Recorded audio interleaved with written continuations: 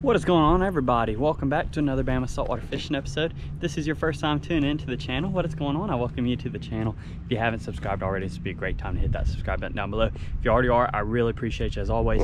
It is a beautiful day outside. We've got the sun shining bright, have my beach card out, and some beach fishing stuff. And we're gonna head out and do some simple surf fishing. The weather's actually nice. It's been raining like crazy for the past freaking week and a half. So I don't know what the water's gonna look like because a lot of that fresh water washes out of our bays and river systems into the gulfs. It may dirty it up, but we do have yellow flags. So I'm gonna get out on the beach, get set up, and we'll get to some fishing.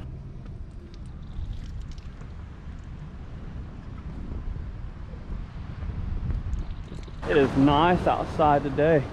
Water's a tannic brown color, so it's not perfect green, but we got a plethora of baits and we're gonna try our luck. I may try to get some sand fleas right here real quick by the pier. See if I can get some. I got a sand flea rake with me. Usually they like to hang out around places like this. Let's find out.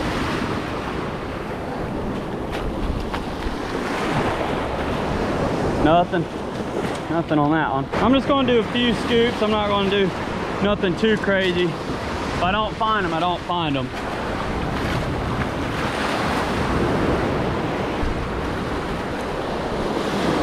One more scoop. Huh. Last scoop before I move on. Oh, I got one. Okay, well there's another small one in there. But I got a really nice sand flea, so heck yeah. There's one. Watch how they can bury down in the sand. Look at that. Oh, that's so cool they can bury in the sand quick. Pretty great bait. I'm gonna try to see if I can get some more. Last scoop, and then I'm gonna head back and start fishing. Oh, just got one. It wasn't a big colony, but managed one at least.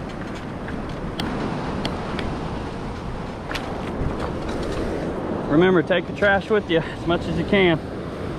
Well, I got my two rod holders because I only brought two rods. That's really the maximum I actually fish with out in the surf it's easy to keep up with. Burning about maybe 40 to 50 feet apart here. Okay, I've got one in. Let me go get the other one in here. Got that one in, got both my rod holders in. Give me some fish bites and my pompano rigs tied up and we'll get to fishing. I'm gonna take me some fish bites easy shrimp. This is a pink one and it is the fast acting one. So that means it dissolves a lot faster especially in this warmer water. But I like fish bites. Doesn't stink your hands up. You can find it practically anywhere. And they have a variety of different flavors, colors, and then type of bait. Now I'm gonna be using a combination of shrimp and fish bite. I have a Bama saltwater pompano rig tied on in this orange and yellow color i usually do pretty well it's just a float a bead and a one aught hook with 20 pound fluorocarbon and it's two of those come down to a clip and i'm using a three ounce pyramid weight because there is a little bit of chop and then on my other setup i just have a single drop bama saltwater pompano rig it's just a swivel 20 pound fluorocarbon with one dropper loop here with a float a bead and then a size one owner kale hook coming down to a clip and then another three ounce pyramid weight. So I'm gonna take this sand flea and this thinner wire owner hook, go through the bottom and come out the top of the shell just one time. You wanna be careful not to crack it too much. And that's how you hook a sand flea. I am gonna put a little bit of piece of fish bites on there just to enhance the color on it and get their attention. But we're gonna toss this out here and see what we can find with the sand flea. Then the other setup, the double drop rig, I'll be using the fish bites and the shrimp. But I'm throwing this on a Shimano Stradic 5000 XG 20 pound Yo-Zuri Super Braid and a Shimano Speedmaster 9 foot medium moderate fast action surf rod. So I'm gonna cast this out and let's see if we can get on something. Water's just dingy. Maybe we can get on a nice red though. Woo, that casts like a dream. I just purchased this rod from Sam's Tackle over in Orange Beach and man, it casts like a dream. I've had the reel but this rod, I was looking for a different surf rod and man, it does pretty good. I'm gonna set in the rod holder and adjust our drag here. So if something big takes it, it's not gonna take our whole rod with us. And that rod is set. So I'm gonna take me a piece of dead shrimp and then all I did was pinch it in half. All right, both my hooks have a piece of shrimp on. I'm gonna take a piece of fish bite. Really simple. There we go just like that on both hooks. So we'll cast this out. I'm throwing this setup on my Van Staal 150X series, 30 pound Yo-Zuri Super Braid. And then this is my custom Rain Shadow 1087 rod. I've had this set up for a long time. It has absolutely slayed some fish. So we're gonna cast the shrimp and fish bites out here. And hopefully we can get into some fish. I'm not gonna do too far on that one. And then same thing with the drag. You want to set your drag fairly loose to where if something big hits it, it's not taking your entire setup. Oh, that was a good hit. Y'all see that? Come on. All right, literally instantly got something. Come on, let's find out what it is. Dang, pulling pretty hard. Literally instant, as soon as it went in the water, it was getting smacked. So let's see what they are. If I was to take a guess, I would say bunch of hardtails out there, but we will find out. Ah, ladyfish, that didn't take long. It's pretty fun though. That's actually really good cut bait. So I am going to keep that ladyfish and use it as cut bait out in the surf. So I'm gonna go throw this ladyfish in my cooler. This is a skipjack or a ladyfish, poor man's tarpon. Not really good table fare, but excellent bait for big fish. I'm gonna bait my double drop rig up with the same bait here, just a piece of shrimp and then the fish bites is still good. So this is the one that had the sand flea on it. I think something ate the sand flea. Let's see, we'll bring it in and find out. Well, I have something. Oh man, that's not what I wanted. This is a hardhead catfish. Not really what I'm after, but they come with the territory. And what I mean is they come with the dirty water. There you go, buddy. Take this ladyfish and cut it into smaller pieces and use it as cut bait. And that's all you need is a little bitty piece like that. Excellent redfish bait, big bluefish baits. I'm gonna hook this on the single drop rig with the Stradic and maybe we can get something big. All right, I got this piece of cut ladyfish. Just gonna hook it through one time their skin's pretty tough, so that's all you need to do. Now, if I get a big bluefish, there is a chance of getting cut off because this is only 20 pound fluorocarbon, but I don't feel like retying right now with this cut bait. Usually I like to use 40 pound fluoro. Do a decent little cast. And I hope we can get a big old redfish. That would be awesome. Heck, even some big bluefish would be cool. Just something big. well, that one's soaking. I'm gonna cast a double drop pompano rig out. Oh, cut bait rod's going off cut bait rod's going off. Oh, what do I got? Oh man, I got something on the cut bait rod. Ah, woo, heavy. There we go, come on. Let's see what you are. That is awesome. I was over there messing with the shrimp rod on the pompano rig. And then my ladyfish, I noticed the rod was bent over sideways. Let's see what I got. This is awesome if it's a big one. Ah. Oh, it did not like being close to the bank. It's only 20 pound fluoro, so whatever it is, if it has teeth, I don't think I'll be able to get it in, but find out. It's coming though. Oh, stingray? I think it's a stingray. Need a good wave to push it up. There we go. It's a decent sized stingray. That would be cool to do a stingray catch and cook. If you want to see one, drop a comment down below and next time I catch one, we'll do one. But I'm gonna let this one go for now. But check that out, on the cut bait. That's the biggest part you gotta watch for. Right here, you can touch all day. It's gonna be okay. But their barb is right there, pretty much in the center of their tail. And that's what you don't want going in you. But we're gonna get this one released here. I'm gonna get this hook out of him and we're gonna get you back in the water. So I got the hook out. Check out his eyes. These things are so cool. We're gonna get you back. There you go, swim away, buddy. and he's gone. So like I was saying, if y'all wanna see a stingray catch and cook, leave some comments down below. If I get enough comments or enough people that want me to do it, then I'll come out here and try to get a stingray. We'll go cook it up. So they're not bad to eat if you prepare them the right way. But like I said, if I get enough comments, we'll do a stingray catch and cook on the channel. So I did get to break in the new Shimano Speedmaster surf rod I bought this morning. So I've already caught fish on my Shimano Stradic 5000. But uh, like I said, I went this morning to Sam's and Tackle picked up the Speedmaster and already got to break it in. That was an awesome fight. It's an incredibly light surf setup. Uh, you can cast this thing all day and I'm casting a three ounce weight, no problem. And just got that Stingray in.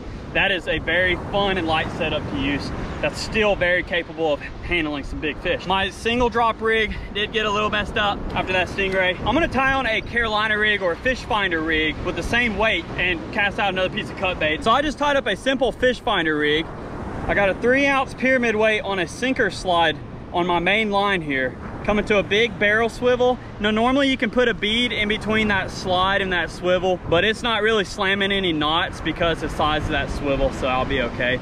Now I have some 40 pound Yo-Zuri fluorocarbon coming to a 4 circle hook here. This is a snelled knot, pretty easy to do. There's a lot of videos online how to do it.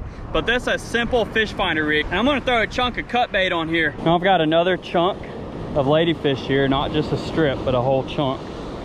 And this is fresh cut bait. You can't get any fresher than cut bait that you catch yourself. Okay, let's get this cut bait out. Now I'm not even gonna bother with the shrimp right now because if I get in a big fish, I wanna just primarily focus on this rod. There we go, good cast. Okay, our cut bait rod is set. Get smacked. Oh, I got it.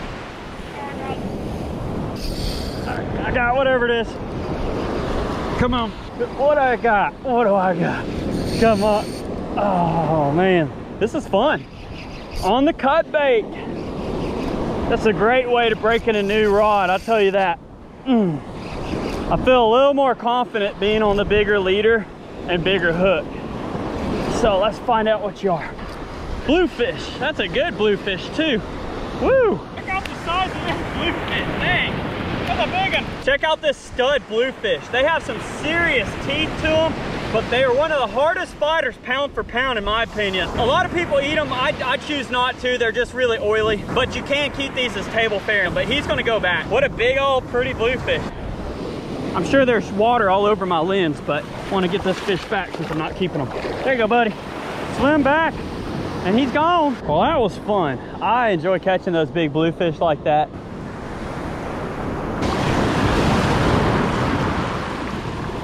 Boom. Solid cast. Set the drag and nail. Time to wait again. Over there trying to find something in my tackle bag. Is it still on? Yeah, it's still on. Ah, come on. Come on, get in. Man, this is just instant action with this ladyfish. You don't have to wait very long. Uh, tying that drag down just a hair. I like to keep it loose in the rod holder and then tying it just a little bit once I start fighting the fish and know it's on. Oh, might be another bluefish. Yeah, that's another big blue. Another stud bluefish, come on. If I can get in without it cutting me off. So one advantage of using circle hooks is you can get away with a little bit lighter leader. Boom. Look at the size of that bluefish, dude. Another nice bluefish. I got my circle hook back, so I'm gonna toss this one back. So, but this will be a uh, really good one to keep. It's got a lot of meat on it, but we're gonna let him swim away, go back home. There you go, buddy, go back. And he swam away. All right, cool. And I got my hook back with that circle hook. My leader's a little frayed right there, so I am gonna cut it off and retie and then get a fresh piece of bait on. All right, I got another piece of fresh cut bait. I'm gonna toss it out in the surf and see what we can find. This is very fun. It's actually nice to see the sun again. It's been freaking raining for the entire week, over a week here because I won a tropical storm slash hurricane that went over Texas and then came across the entire southeast portion of the United States. And we got a lot of those rain bands. There we go. On the circle hook, you don't have to do a hard hook set, but this is a pretty hard fighting fish, golly. Ah, what do I have? Let's see. If this is a bluefish, it is a stud bluefish. Get in here. Another big old bluefish. Dang, they like the cut bait. That's awesome. They fight so hard. That is so fun. Pair of needle nose pliers is a necessity. But there we go. Got another nice bluefish. I'm gonna let him go. So got my circle hook back, which is good. But they fight so hard. That was on that fresh ladyfish cut bait. Oh, there we go. he gone. The reason I like these fish finder rigs with the sinker slide versus having your weight on the very bottom when using cut bait is if you get a big fish and a big piece of cut bait, you want that fish to be able to eat it all the way and not just come and mouth it. Your weight being able to slide allows that fish to take line, take line, take line without feeling the resistance of the weight. So they feel a little bit of resistance from the drag, but if you properly adjust your drag a little bit lighter like I do, you see I'm pretty successful with those bluefish and you can use this rig for pretty much anything that'll eat cut bait in the surf. This is just a 4-aught circle hook and then 40 pound Yo-Zuri fluorocarbon, that little black barrel swivel, and then a black sinker slide. The key is black hardware. If you start using gold or silver, they're gonna come and target your swivel instead of your bait. So that was a really fun and exciting fishing trip. I appreciate you for hanging in there as we catch some pretty fun fighting fish. So it's very relaxing to get out on the beach and just do some simple fishing. But if you haven't subscribed already, this will be an excellent time at the end of this video. Hit that subscribe button down below so you can keep up with some great fun content like this. I will see you on the next video. I want to thank the good Lord up above for everything he does for us and we'll see you later.